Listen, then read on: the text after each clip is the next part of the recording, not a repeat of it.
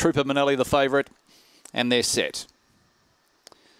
Ready, and racing. Trooper Manelli came out okay, showing speed was our champ out wide and driving through on the inside was Grace Under Fire. Our champ gets across and takes the lead. Second was Grace Under Fire. Trooper Manelli levels up around the outside to third. Vanessa Manelli was next, then followed by Wineldum, Ultimate Wingman. And last of all was Kirkbale down the back. Our champ leads by length and a half. Trooper Manelli trying to hunt up on the inside. Three lengths away was Grace Under Fire. Then followed by Vanessa Manelli and also Ultimate Wingman around the home corner. The favourite Trooper Manelli levels up, hits the front, draws away, wins by two and a half our champ, Ultimate Wingman third, ahead of Vanessa Manelli and Wineldum, Grace Under Fire, last in Kirkbale in a time of 30 and 25.